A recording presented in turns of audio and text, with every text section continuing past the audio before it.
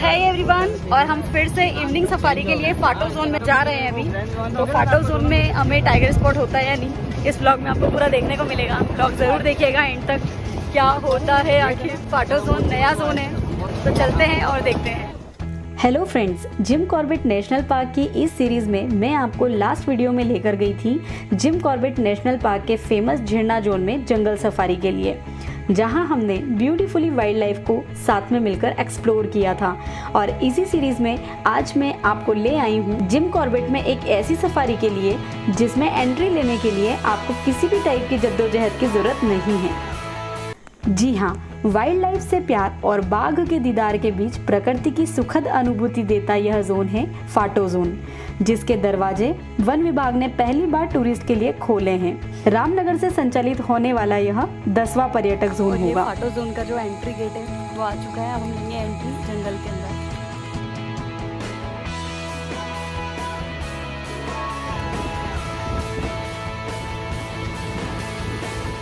Tiger की तलाश में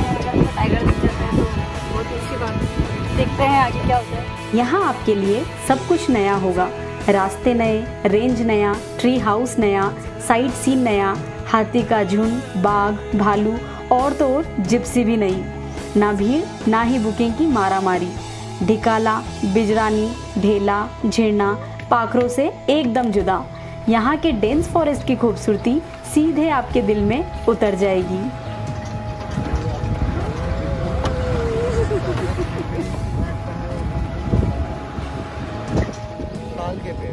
साल जो ये साल का पेड़ होता है ये आपकी इसकी एज बीस सौ साल होती है है ना? थ्री हंड्रेड इसके बारे में कहावत है इसके बारे में ऐसा कहा जाता है कि साल का पेड़ सौ साल खड़ा सौ साल पड़ा और सौ साल सड़ा।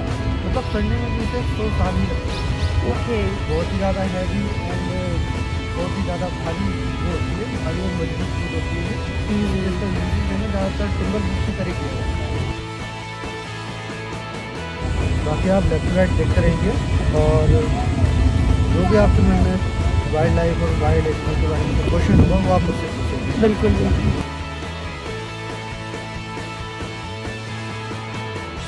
वाइल्ड है। भोर है। बहुत डेंजरस है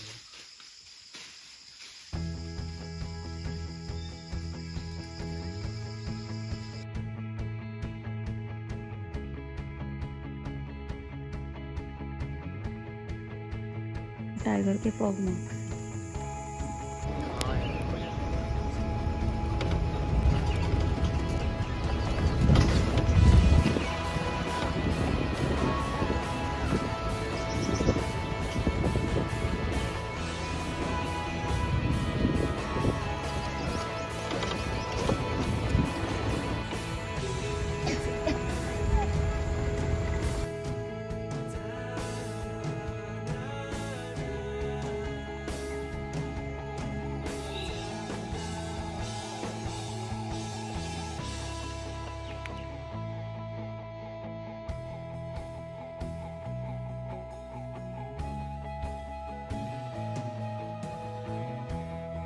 यही फांटो जोन में एक ट्री हाउस है। हम लोग चलते हैं ऊपर की साइड ट्री हाउस में।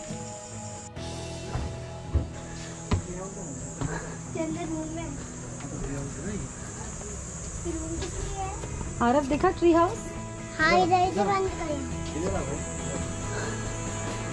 ये अंदर रूम है। चारों ओर घना जंगल है। पूरा डेंस फॉरेस्ट है।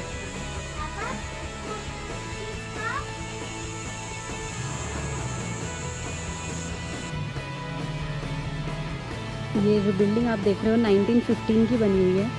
काफ़ी ओल्ड बिल्डिंग है। बहुत ही ब्यूटीफुल नज़ारा है।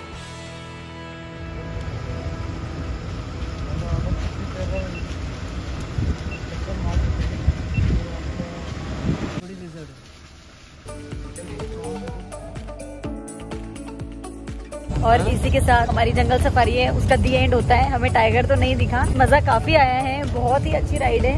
आपको बिल्कुल लगता है कि आप डेंस फॉरेस्ट के अंदर हैं और हमने काफ़ी सारे दूसरे एनिमल्स जो थे वाइल्ड एनिमल्स उनको स्पॉट किया है। तो अच्छी सफारी है, आप ज़रूर आइए।